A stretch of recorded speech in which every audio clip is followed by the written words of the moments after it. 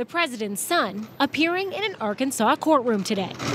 The hearing related to a years old paternity dispute after the mother of his child, Lunden Roberts, accused Hunter Biden of ignoring earlier court orders and withholding evidence. Now the judge says Hunter must answer more questions about his investments, art sales, and other financial transactions as part of the child support case. He will also sit for a June deposition where he'll be questioned under oath. You can't say, These are my tax returns. Good luck. You figure it out, the judge said, ordering up details on Hunter's taxes. This cryptic hide the ball game isn't going to cut it when we get to trial. What began as a 2019 paternity case, morphing into a battle over Hunter's overseas business dealings, the now infamous laptop, and other financial issues, all as Hunter faces scrutiny from both criminal and congressional investigators. Republican lawmakers have launched a sprawling probe into the Biden family's business dealings, seeking many of the same financial records Lunden Roberts is trying to access. Well, we found a lot that's certainly unethical.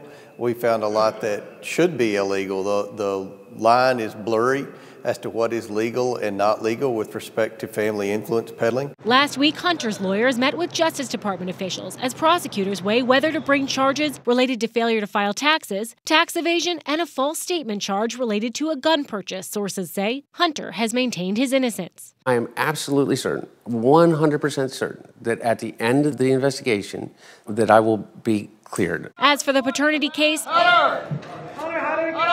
Hunter initially denied fathering the child, but a DNA test confirmed he is the biological father. Hunter has since agreed to pay child support, paying $750,000 to the mother so far, his lawyer said in court. Now, the judge also told Hunter's attorneys they must make more of their court filings available to the public. She said that she has been generous in allowing many of the sensitive details of this case to remain under wraps, but the judge said in court today, quote, I can't gag the whole world.